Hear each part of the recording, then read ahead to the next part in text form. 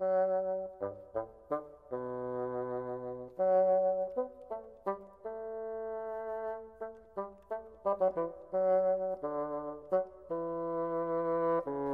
of the most important medicinal mushrooms in the world is uh, the famous reishi or uh, lingzhi.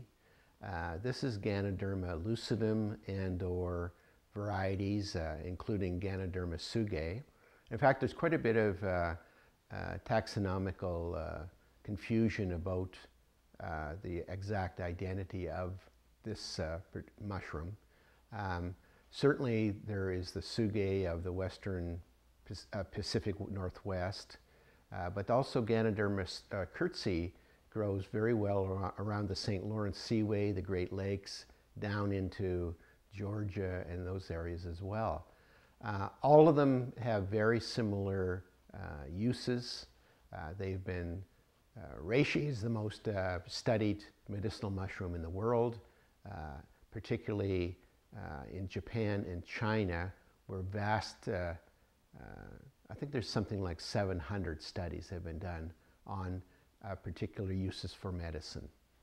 Um, some of these are in vitro, some in vivo, but many human trials indicating that reishi is a superior immune, immune modulator, meaning that it will actually ramp up the immune system when deficient and damp it down when overly active.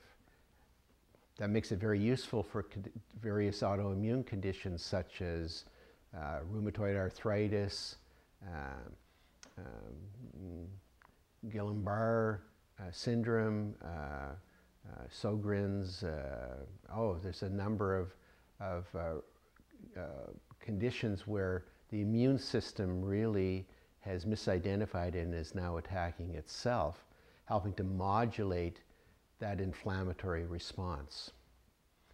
Uh, reishi is, uh, uh, has been used by Taoist monks for thousands of years and has been prized for what they call calming the spirit.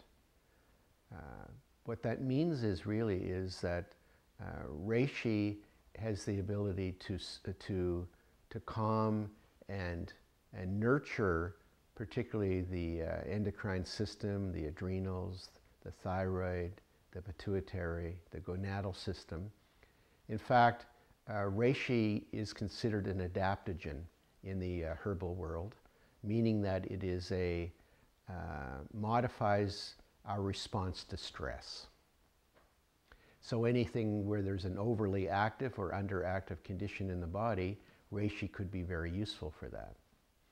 Of course, it is useful for many different kinds of cancers, uh, including breast cancer, uh, ovarian cancer, prostate cancers, all the hormone sensitive cancers are, are favorably affected by reishi.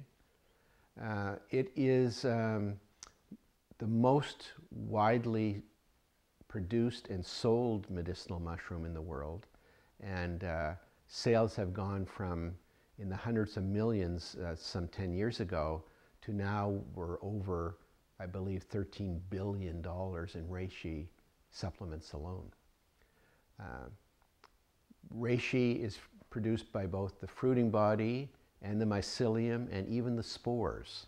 Different uh, technologies have shown that uh, combining some of these different uh, extracts can give a favorable uh, efficacy.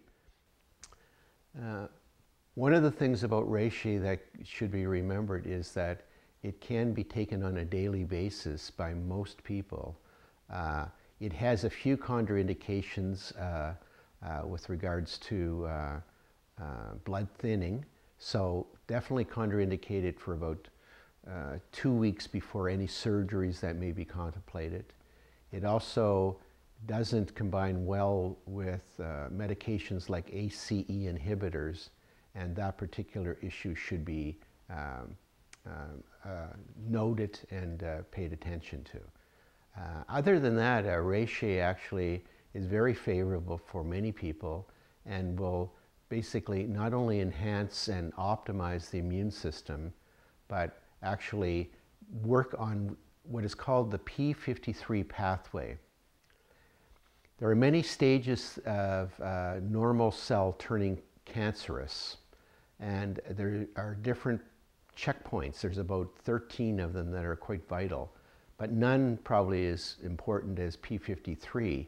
This is the point at which the immune system recognizes an aberrant cell, makes a decision about whether or not it's going to allow it to survive, and or induce what is called apoptosis, or self-programmed death.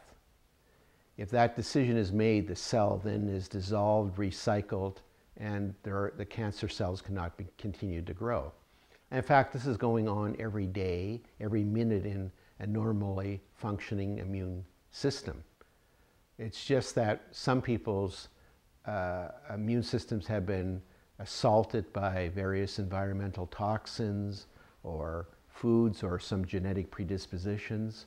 And so a higher vigilance is needed. And optimizing P53, which Reishi does, is very, very useful for all medicinal purposes.